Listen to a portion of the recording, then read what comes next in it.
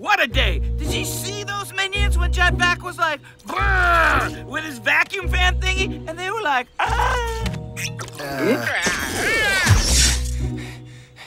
Pop Fizz. Enough with the soda. No way! It's how I keep my edge! It's soda-licious!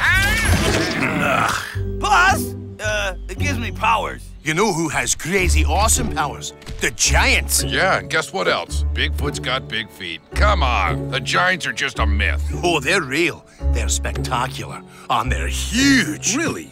You heard the giants are huge. Check it out. This is my sarcastic face. Ah, laugh all you want, but I heard they can literally throw boulders. Can you imagine? Wake up, throw a boulder. Have a plate of haggis, throw a boulder. Fantastic. I've heard fairy tales they can punch holes in the ground. I don't believe it. You show me a pig that can fly, I'll show you a giant who can smash a hole in the ground. I once heard that they are so strong they can move islands. They're just like, hey, look at that island. I'm gonna pull it closer because, you know, I'm a giant, no biggie. If they're so real, then where are they? Probably petting a unicorn at the end of a rainbow.